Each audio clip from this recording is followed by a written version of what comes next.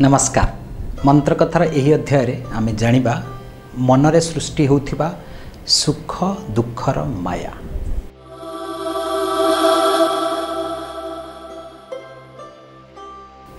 ସୁଖ ଦୁଃଖ ଭରା ଏ ଜୀବନ ଏ ଦୁନିଆ। ଆଜ୍ଞା ହଁ। ଏମିତି କୌଣସି ବ୍ୟକ୍ତି ନାହିଁ ଯାହାର ସୁଖ କେବଳ ଅଛି କିମ୍ବା କେବଳ ଦୁଃଖ ଅଛି।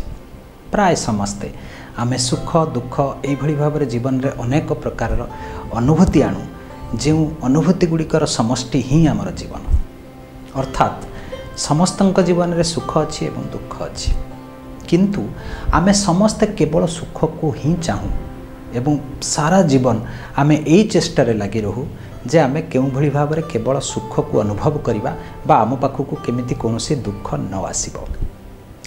କିନ୍ତୁ ସବୁଠାରୁ ମଜା କଥା ହେଲା ଏଇ ଯେଉଁ ସୁଖ ଆଉ ଦୁଃଖ ଆମେ ସବୁବେଳେ ବହିର୍ମୁଖୀ ହୋଇଥାଏ ଏବଂ ବାହାରର ପରିସ୍ଥିତିକୁ ହିଁ ଆମେ ସବୁବେଳେ ସଜାଡ଼ିବାରେ ବ୍ୟସ୍ତ ହୁଏ ଯେ ଏଇଭଳି ପରିସ୍ଥିତି ହେଲେ ଆମେ ସୁଖରେ ରହିବୁ। ଏଇଭଳି ଘର ଘର ହେବା ଦରକାର ଏଇଭଳି ଚାକିରି ମିଳିବା ଦରକାର ଏଇଭଳି ବ୍ୟାଙ୍କ ବାଲାନ୍ସ ରହିବା ଦରକାର ମୋର ଏଇଭଳି ପରିବାରର ଲୋକ ରହିବା ଦରକାର ବନ୍ଧୁବାନ୍ଧବ ରହିବା ଦରକାର। ତ ଆମେ ସୁଖର ଯେଉଁ ସନ୍ଧାନ କରୁ ସେଇଟା କେବଳ ବାହାର ଦୁନିଆରେ କରୁ।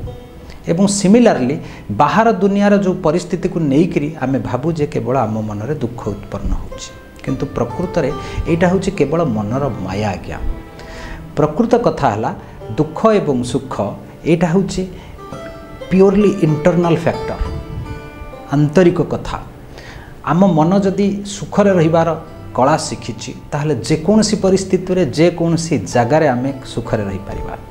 ଏବଂ ଆମ ମନ ଯଦି ଦୁଃଖରେ ରହିବାର କଳା ଶିଖିଛି ତାହେଲେ ଆପଣଙ୍କୁ ସ୍ୱର୍ଗରେ ଛାଡ଼ିଦେଲେ ମଧ୍ୟ ଆପଣ ନିଶ୍ଚିତ ଭାବରେ ସେଠି ଦୁଃଖରେ କଳାତିପାତ କରିବେ। ଆଜ୍ଞା ହଁ। କଥାଟି ଅତିଶୟୋକ୍ତି ଭଳି ଲାଗୁଥିଲେ ମଧ୍ୟ କଥାଟି ନିରାଟ ସତ୍ୟ। ଏବେ ଚିନ୍ତା କରନ୍ତୁ। ଗୋଟେ ଲୋକ ଯୁଆଡ଼େ ଯୁଆଡ଼େ ଯାଏ ତା ସାଙ୍ଗରେ ତା'ର ଛାଇ ସାଙ୍ଗ ହେଇକିରି ଯାଏ। ଆପଣ କେବେ ଚିନ୍ତା କରିଛନ୍ତି କି ନାହିଁ ମୁଁ ମୋ ଛାଇକି ଗୋଟେ ଜାଗାରେ ଛାଡ଼ି ଦେଇକରି ଆଉ ଗୋଟେ ଜାଗାକୁ ପଳାଇବି? ଏଇଟା କେବେ ହେଲେ ସମ୍ଭବ ନୁହେଁ। ନିଶ୍ଚିତ ଭାବରେ ଅସମ୍ଭବ। ଠିକ୍ ସେଇଭଳି ଭାବରେ ଆମ ମନର ଅବସ୍ଥା ଉପରେ ନିର୍ଭର କରୁଛି ଆମେ ସୁଖରେ ରହିବା ବା ଦୁଃଖରେ ରହିବା। ଆପଣ ନିଜ କଥା ଚିନ୍ତା କରନ୍ତୁ।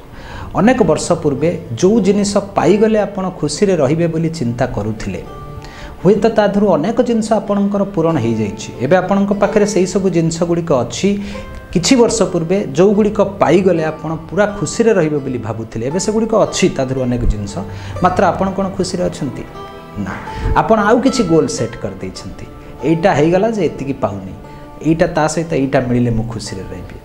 কেবল আমি বাহানা খোঁজুছে দুঃখী রহবা এইটা মিলিগলে মু খুশি রহবি এইটা মিলিগলে মু খুশি রহবি এইয়া কন্ডিশন বদলিগলে মু খুশি রহবি সেইটা মিলিগলে বা সেই কন্ডিশন বদলিগলে আপনার পুঁ গোটে নূয়া বাহানা খোঁজি দেছেন তেমন আপনার দুঃখী হয়ে রয়েছেন ঠিক সেইভাবে ভাবে যে সুখরে রহবা কথা এমিতি ইতিহাসের আমি অনেক লোক দেখিছে যে পাখে কিছু বি না ম্যাটেরিয়ালিষ্টিক দুনিয়ারে আমি যদি ভাবুছে যে কোণী ম্যাটেরিয়ালিষ্টিক দুনিয়া আমাকে সুখ দিয়ে পাব তাহলে গিরিকন্দরের যে তপস্যা করছেন অনেক মুনি ঋষি অনেক অনেক সিদ্ধ পুরুষ অনেক যে পাখে কিছু বি ম্যাটেরিয়ালিষ্টিক জিনিস নথিলা তথাপি সেমানে খুশি রহিলে এবং এমিতি কিছু চরিত্র আপনার দেখা মিলব ইতিহাসে বুদ্ধদেব কুহতু মহাবীর কুহতু যে রাজভোগক ছাড়িকি ବଣକୁ ପଳାଇ ଯାଇଥିଲେ ଏବଂ ସେଠି ମଧ୍ୟ ସେ ସୁଖର ଅନୁଭୂତି ପାଇଥିଲେ ବା ସୁଖର ସନ୍ଧାନ ସେ ବଣରେ ପାଇଥିଲେ ଯେଉଁଠିକି କୌଣସି ବି ମ୍ୟାଟେରିଆଲିଷ୍ଟିକ୍ ଜିନିଷ ନଥିଲା।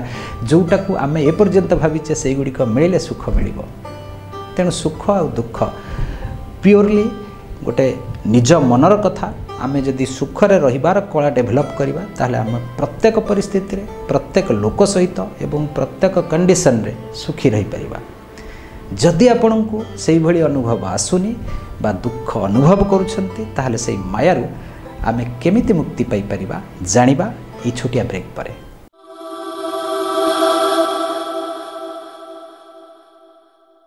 ବାସୁଦେବପୁର ସୁଦର୍ଶନପୁର ଗ୍ରାମ ପଞ୍ଚାୟତର ପୂର୍ବତନ ସମିତି ସଭ୍ୟ ପ୍ରଶାନ୍ତ କୁମାର ମହାନ୍ତି ନୂଆଖାଇ ଉପଲକ୍ଷେ ହାର୍ଦ୍ଦିକ ଅଭିନନ୍ଦନ ଜଣାଇଛନ୍ତି।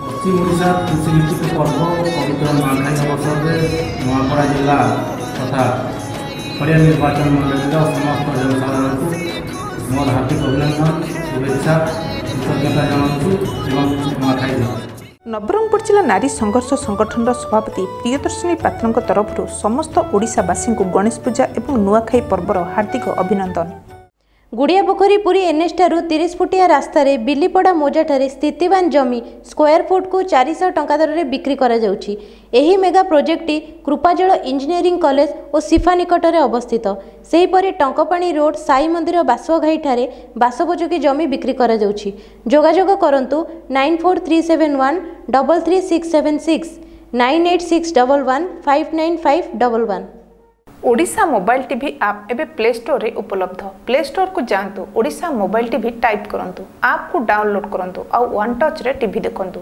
ଅନ୍ୟ ସମସ୍ତ ଖବର ଦେଖିବା ପାଇଁ ପ୍ଲେ ଲିଷ୍ଟକୁ କ୍ଲିକ୍ କରନ୍ତୁ। ମନ ପସନ୍ଦର ବୁଲେଟିନ୍ ଦେଖନ୍ତୁ କେବଳ ଓଡ଼ିଶା ମୋବାଇଲ ଟିଭିରେ ଖବର ନିଆରା ଢଙ୍ଗରେ।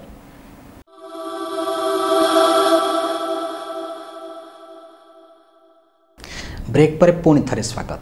ବ୍ରେକ୍ ପୂର୍ବରୁ ଆମେ ଆଲୋଚନା କରୁଥିଲେ କେଉଁଭଳି ପ୍ରତ୍ୟେକ ପରିସ୍ଥିତିରେ ଆମେ ସୁଖରେ ରହିପାରିବା। ଆଜ୍ଞା ହଁ ମଣିଷ ମାତ୍ରକେ ସୁଖ ଆଉ ଦୁଃଖ ଲାଗିଛି।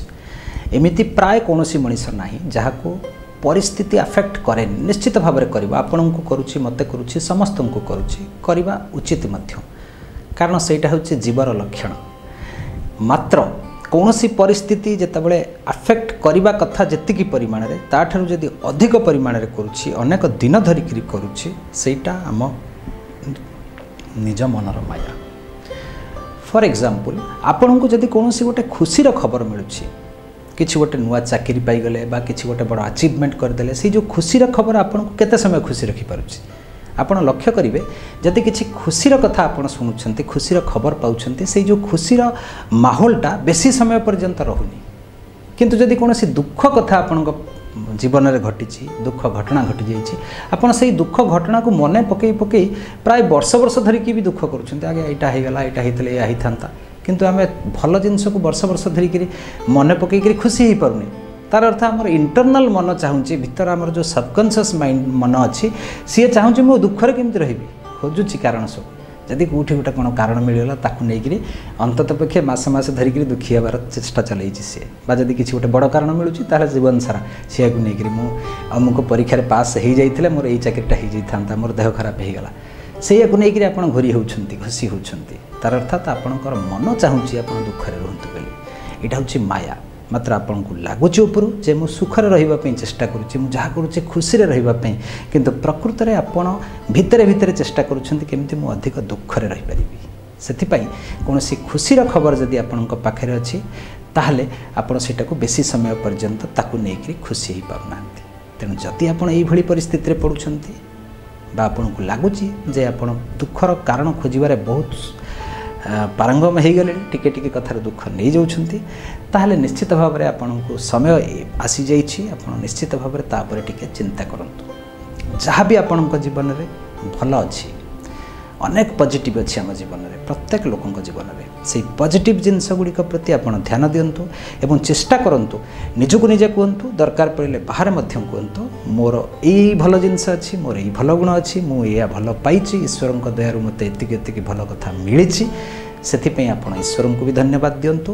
ନିଜକୁ ନିଜେ ବୁଝାନ୍ତୁ ଯେ ମୋ ପାଖରେ ଏତିକି ଭଲ କଥା ଅଛି ଭଲ ଗୁଣ ଅଛି ମୋ ପାଖରେ ଏତିକି ଭଲ ଲୋକ ଅଛନ୍ତି ଏବଂ ତାକୁ ନେଇକି ଖୁସି ହେବା ପାଇଁ ଚେଷ୍ଟା କରନ୍ତୁ। ଦେଖିବେ ଧୀରେ ଧୀରେ ଧୀରେ ଧୀରେ ଆପଣଙ୍କୁ ଯେଉଁ ଟିକେ ଟିକେ କଥାରେ ଦୁଃଖ ଆସିବା ଲାଗୁଥିଲା ସେଇଟା ଜଷ୍ଟ ଅପୋଜିଟ୍ ହେଇଯିବ। ଆପଣ ଛୋଟିଆ ଛୋଟିଆ କଥାରୁ ଖୁସି ଉଠାଇବା ଆରମ୍ଭ କରିବେ ଏବଂ ସେଇ ଖୁସି ଆପଣଙ୍କ ପାଖରେ ଖୁବ୍ ଦୀର୍ଘସ୍ଥାୟୀ ହୋଇପାରିବ। ଏମିତି ଆଗକୁ ଆମେ ଅନେକ କଥା ଜାଣିବା। ଏବେ ସମୟ ହୋଇଛି। ବିରାମ ନେବା। ଧନ୍ୟବାଦ।